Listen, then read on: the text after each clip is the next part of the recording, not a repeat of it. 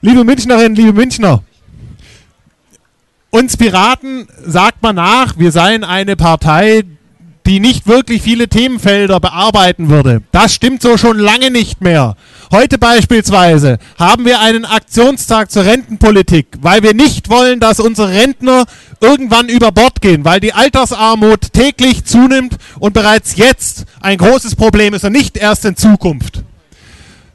Wir kämpfen dafür, dass wir eine gerechtere Rentenpolitik bekommen und haben hier auch bereits konkrete Forderungen und konkrete Maßnahmen erarbeitet.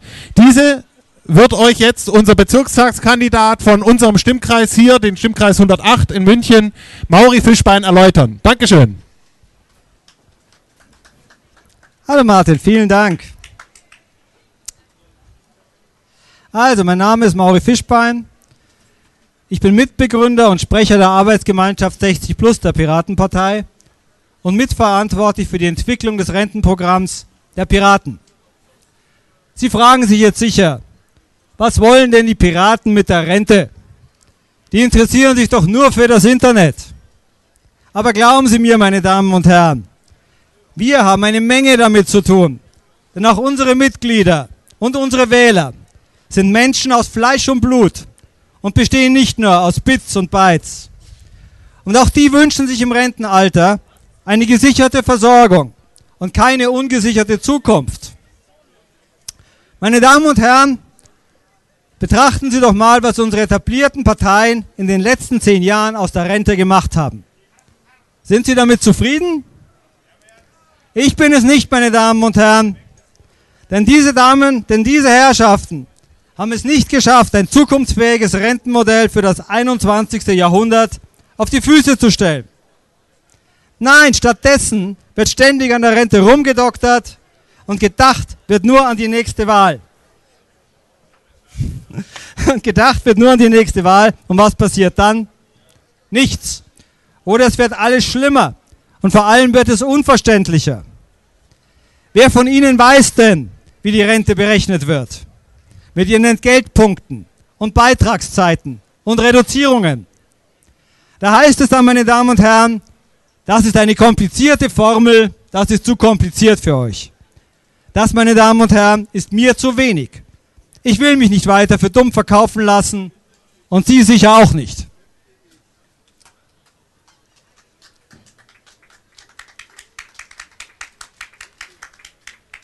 Lassen Sie mich ein Beispiel machen.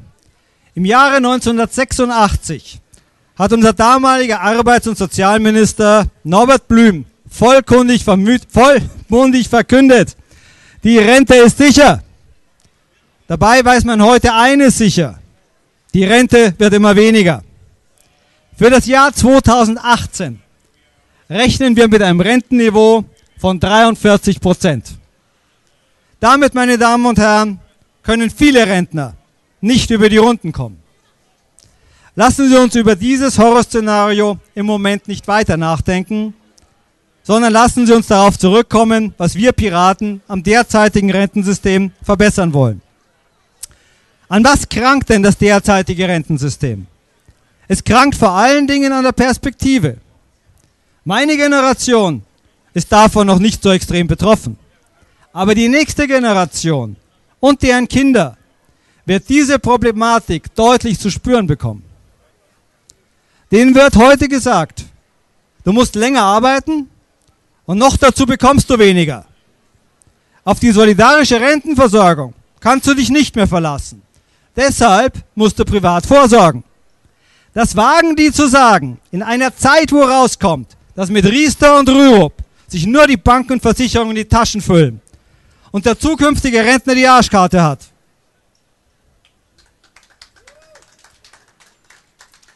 Das, liebe Wählerinnen und Wähler, sind keine Perspektiven für künftige Generationen. Das lief schon mal dramatisch schief, als die Rente ursprünglich eingeführt wurde. Ein kleiner Exkurs in die Vergangenheit. 1889 hat der damalige Reichskanzler Otto von Bismarck die gesetzliche Rentenversicherung in Deutschland eingeführt. Das war für Europa eine Revolution. Er hat es aber auch sehr geschickt gemacht. Das Eintrittsalter für die Rente wurde auf sage und schreibe 70 Jahre festgelegt. Die durchschnittliche Lebenserwartung allerdings betrug nur 40 Jahre. Das war wirklich geschickt, denn Sie können sich selber ausrechnen, wie viele Menschen überhaupt in den Genuss einer Altersrente kommen konnten. Der zweite Trick, jeder bekommt nur das ausgezahlt, was er auch eingezahlt hat, natürlich inklusive Zinsen. Das, meine Damen und Herren, nennt man auf Neudeutsch kapitalgedeckte Rente. Und damit sind wir schon wieder bei Riester, Rürup und allen Produkten, die uns Banken und Versicherungen gerne als sichere Anlageform für das Alter andrehen wollen. Denn was ist denn mit dem Geld passiert, das die Leute unter Bismarck in die Rentenkasse eingezahlt haben? Der Anspruch auf die Rente ist zwar entstanden, und zwar wenn man 40 Jahre lang eingezahlt hat, aber dazwischen kam die Weltwirtschaftskrise in den 20er Jahren und in Deutschland eine Hyperinflation, wo man in der Spitze mit einer Schubkarre voll Geld gerade mal ein Stück Brot einkaufen konnte. Und die Rentenansprüche, die so sicheren, die waren sicher. Aber was gab es denn noch dafür, meine Damen und Herren? Nicht mehr viel. Und zu so einem System wollen wir heute zurückkommen. Das, meine Damen und Herren, ist keine Perspektive für das Rentensystem in Deutschland. Denn wer garantiert uns denn, dass es mit diesen angesparten Geldern außerhalb des Rentensystems nicht genauso geht wie unseren Vorfahren mit ihren angesparten Geldern? Ein ganz konkretes Beispiel, meine Damen und Herren, hat sicher jeder bei Ihnen in der Familie. Die sogenannte sicherste Anlageform der Deutschen in den letzten Jahrzehnten, die Kapitallebensversicherung. Uns wurde immer versichert, man kann sein Geld gar nicht besser und sicherer anlegen. Und die Gewinnprognosen der Versicherungsvertreter über 25 oder 30 Jahre, die haben auf dem Papier ja wirklich gut ausgeschaut. Die deutlich niedrigere, die garantierte Auszahlung, die wurde eher ein bisschen verschwiegen. Und natürlich war das Ganze auch noch steuerfrei. Und wir Deutschen sind immer gern für Sachen, die steuerfrei sind. Wer sich also auf diese prognostizierten Auszahlungen für seine Altersversorgung verlassen hat, meine Damen und Herren, der schaut heute aber richtig alt aus. Da stimmt nichts mehr. Und warum, meine Damen und Herren, stimmt das nicht mehr? Weil die Banken und die Versicherungen durch ihre Spekulationen uns in eine Finanzkrise gestürzt haben, aus die wir sie jetzt mit unserem Geld billig retten und sie sagen, wegen den niedrigen Zinsen können sie keine Rendite mehr für die Lebensversicherung erwirtschaften. Aber vergessen wir mal die Kapitallebensversicherung, die will keiner mehr, die ist tot, denn sie ist nicht mehr steuerfrei. Jetzt gibt es aber was Neues, meine Damen und Herren. Letzte Woche habe ich gelesen, die Allianzversicherung bietet jetzt eine Versicherung an, eine Kapitallebensversicherung, ganz ohne Garantiezins eine wirkliche Innovation, ein ganz tolles Produkt, meine Damen und Herren. Ein wirklicher Witz. Aber was ist denn eigentlich passiert? Im Jahre 2005 wurde die Steuerfreiheit der Kapitallebensversicherung abgeschafft, angeblich deswegen, weil die Banken benachteiligt wurden und gegen diese Ungleichbehandlung sich gewehrt haben. 2004 wurde deshalb eine neue Rentenformel eingeführt und das zukünftige Rentenniveau gesenkt. Und im Gegenzug wurde Riester und Rürup eingeführt, um die private Vorsorge zu stärken. Was für ein Zufall. Denn jetzt hatten nicht nur Versicherungen ein neues Geschäftsfeld, sondern jetzt konnten auch die Banken ihre Leute losjagen und kräftig neue Verträge abschließen und Provisionen einsacken. Was macht denn der Herr Riester heute, nachdem er uns dieses alles eingebrockt hat, meine Damen und Herren? Der Herr Riester ist im Aufsichtsrat des Finanzdienstleisters Union Asset Management Holding und pflegt gemeinsam mit dem Herrn Rürup laut Transparency International beste Kontakte zum Finanzdienstleister AWD.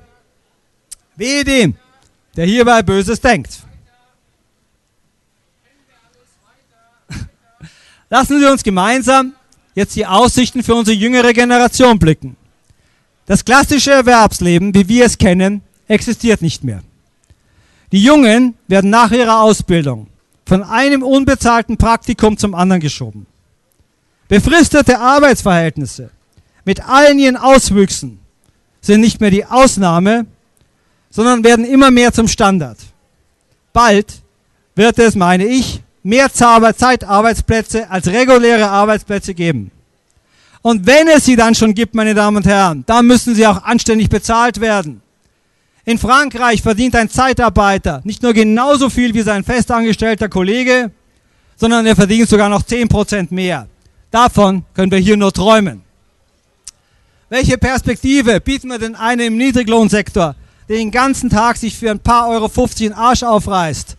Was hat denn der für eine Zukunft, eine Rentenzukunft? Sollen wir dem sagen, komm, arbeite dich krumm, bis du 70 bist, weil das wird dann sein zukünftiges Renteneintrittsalter sein, wenn es so weitergeht? Und dann darfst du für deine letzten Jahre auch noch betteln gehen, denn deine Rente wird nicht reichen. Nein, meine Damen und Herren, das hat mit Generationenvertrag und Generationengerechtigkeit nichts zu tun. Wir müssen den Jungen heute eine Perspektive bieten, sonst dürfen wir uns nicht wundern, wenn sie keinen Bock haben, für die Renten der Alten zu sorgen. Wir hier in Deutschland haben doch noch Glück. Wir haben aktuell eine Jugendarbeitslosigkeit von 7,5 Prozent. Aber schauen Sie doch mal in unsere Nachbarländer, in die südlichen Nachbarländer. Dort liegt die Arbeitslosenquote bei den Jugendlichen teilweise schon bei über 50 Prozent. Das, meine Damen und Herren, ist sozialer Sprengstoff. Wie lange glauben Sie denn, Lassen Sie sich das denn noch gefallen? Wenn ich heute in meinem Stimmkreis mit jungen Leuten über dieses Thema spreche, dann höre ich immer öfter, ihr Alten glaubt doch nicht im Ernst, dass wir euch durchfüttern werden. Hier, meine Damen und Herren, müssen wir was unternehmen, hier müssen wir gegensteuern. Wir müssen dafür sorgen, dass der Generationenvertrag wieder funktioniert. Und wie soll das gehen? Wir müssen für eine vernünftige Rentenreform das Rad nicht neu erfinden. Wir Piraten haben geforscht und zusammengetragen, wo es in Europa funktionierende und zukunftsfähige Modelle gibt und wie man diese auf Deutschland übertragen kann. Was brauchen wir denn wirklich am dringendsten, meine Damen und Herren? Wir brauchen wieder eine solidarische Rentenversicherung, die diesen Namen auch verdient. Und es kann nicht sein, dass sich etliche Gruppen unserer Gesellschaft aus dieser Verantwortung stehlen, meine Damen und Herren. Von wem spreche ich denn? Wer beteiligt sich denn nicht an der solidarischen Rentenversorgung? Ein paar Beispiele. Rechtsanwälte, Ärzte, Selbstständige, natürlich auch Politiker und ganz wichtig, meine Damen und Herren, die Beamten. Vergleichen wir doch mal einen sogenannten Standardrentner mit einem Pensionär. Was ist denn ein Standardrentner, meine Damen und Herren? Ein Standardrentner ist jemand, der 45 Jahre seine Rentenbeiträge einzahlt und im Schnitt 30.000 Euro verdient. Aber meine Damen und Herren, diesen Standardrentner, den gibt es nicht. Denn nur jeder vierte von zehn Männern ist über diesen Zeitraum überhaupt arbeitsfähig. Und wenn es ihn dann doch gibt, dann erhielt er heute im Westen eine Rente von 1224 Euro rechnerisch. Aber schauen wir uns doch mal wirklich die gezahlten Renten an. Dann erhalten die Männer im Schnitt 970 Euro. Und jetzt wird es wirklich dramatisch. Die Frauen erhalten 473 Euro monatlich im Schnitt Rente. Nehmen Sie Männer und Frauen zusammen, dann bleiben da 697 Rente im Monat. Und das, meine Damen und Herren, liegt klapp mal über Hartz IV. Und die Beamten? Nach einer Studie der Uni Freiburg liegt die Durchschnittspension bei den Beamten bei 2500 Euro im Monat. Meine Damen und Herren, dieses System ist nicht gerecht und es ist auch nicht zukunftsfähig. Wir wollen, dass wie in vielen anderen europäischen Ländern hier alle solidarisch einzahlen. Alle. Ohne Ausnahme im Rahmen ihrer Möglichkeiten. Auch die Beamten. Und wir wollen den Wegfall dieser leidigen Beitragsbemessungsgrenze. Ein Beispiel, was das ausmachen würde, meine Damen und Herren. Wer heute etwa 70.000 Euro verdient, zahlt bei einem Beitragssatz, jetzt rundgerechnet 20 Prozent, damit rechne ich mich leichter, 14.000 Euro Rentenbeitrag im Jahr in die Rentenkasse ein. Und dann, meine Damen und Herren, ist Schluss. Wenn diese Person im Jahr 100.000 verdient oder 200.000 Euro oder 300.000 Euro, dann bleibt dieser Jahresbeitrag in die Rentenkasse bei 14.000 Euro. Mir bleibt da die Luft weg, meine Damen und Herren. Denn das ist nicht fair, das ist nicht gerecht und diese Grenze muss deshalb weg. Wenn zum Beispiel ein Herr Ackermann in der Schweiz 10 Millionen verdient, dann hat er bei einem Beitragssatz von 20 Prozent einen Rentenbeitrag von 2 Millionen. Und das ist fair, meine Damen und Herren. Und das ist gerecht, denn starke Schultern können diese Lasten auch tragen. Können wir denn auch das, was uns unser kleiner Nachbar seit Jahrzehnten vormacht? Ein solidarisches Steuersystem, an dem sich alle Menschen beteiligen und aus dem jeder Leistungen beziehen wird? Wir Piraten sagen ja. Wir können das und das Piratenprogramm entspricht dem. Wir Piraten fordern eine Mindestrente für jeden Rentner, die eine sichere Existenz und gesellschaftliche Teilhabe ermöglicht. Wir fordern eine Umgestaltung des Rentensystems in der Art, dass zukünftige Rentner wieder von einer sicheren Rente im Alter ausgehen können. Und wir fordern, dass die Einnahmebasis verbreitert wird und die Stärkeren sich angemessen mit Beiträgen an der Rentenversicherung beteiligen. Jetzt werden Sie sagen, wie soll denn das gehen? Ich sage Ihnen, wie das geht, meine Damen und Herren. Alle bestehenden Rentensysteme, die berufsständischen Versorgungssysteme hier in Deutschland und die Pensionen im öffentlichen Dienst werden zu einer Rentenkasse zusammengeführt. Alle steuerpflichtigen Einkommen und Kapitalerträge werden zur Zahlung von Rentenbeiträgen verpflichtet. Ich spreche hier von den Mieteinnahmen und den Zinsen, meine Damen und Herren. Keine Berufsgruppe wird ausgenommen und die Beitragsbemessungsgrenze soll entfallen. In die Rentenkasse zahlen alle in Deutschland lebenden Menschen einkommensabhängig ein. Und wir sorgen natürlich auch für die Selbstständigen. Die Beiträge von Selbstständigen werden sich an ihren jeweiligen Unternehmenszahlen orientieren, sodass diese nicht in ihrer Existenz gefährdet werden. Die zukünftigen Rentenbezüge für die Rentner werden sich in einem Korridor bewegen von einer Mindestrente, die für ein würdiges Leben reicht, bis zu einer Maximalrente für die, die mehr einbringen. Und die Renten werden jährlich um einen Faktor angepasst, der die Inflationsrate und weitere zusätzliche Kosten berücksichtigt. Und ganz wichtig, die staatliche Rentenkasse verwaltet sich eigenverantwortlich, ohne direkten Zugriff durch den Staat. Der Staat schafft nur den gesetzlichen Rahmen. Und die Rentenkasse ist für die Rente zweckgebunden. Das, meine Damen und Herren, ist das Programm der Piraten für eine zukunftsfähige Rentenreform. Mit Ihrer Stimme für uns Piraten sorgen Sie dafür, dass wir dieses Thema vorantreiben können. Deshalb, meine Damen und Herren, wählen Sie am 15. September und am 22. September uns Piraten. Vielen Dank.